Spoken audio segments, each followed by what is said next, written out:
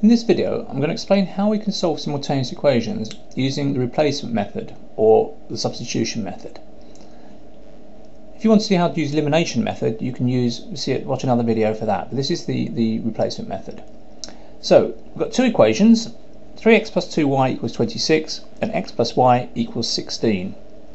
Now what I'm going to do is rearrange the second equation because from that we can see that y will equal 16 take away x. Basically I've taken away x from each side to end up with an equation y equals 16 minus x. Now I'm going to use this to replace the y in the first equation and you'll see the effect of this. So rewriting that first equation I get 3x plus two lots of and y this time is 16 take away x and that will equal 26.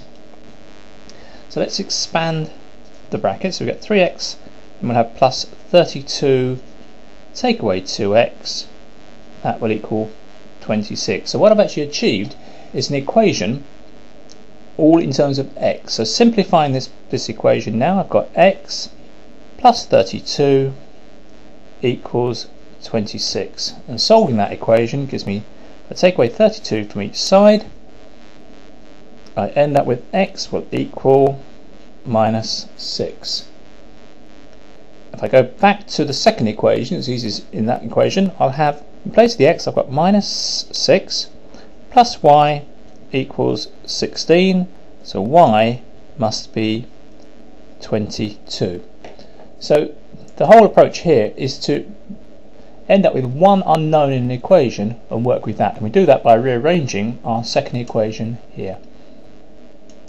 And now continue with the second example just to reinforce the, the approach. Again, we're going to take the second equation. I'm going to rearrange this so y will equal 18 take away 2x.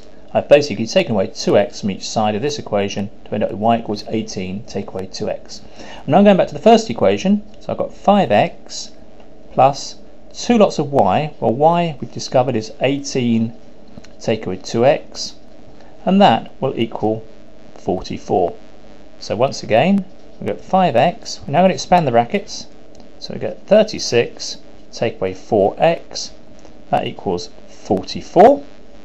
Tidying this up, simplifying it, we get x plus 36 equals 44.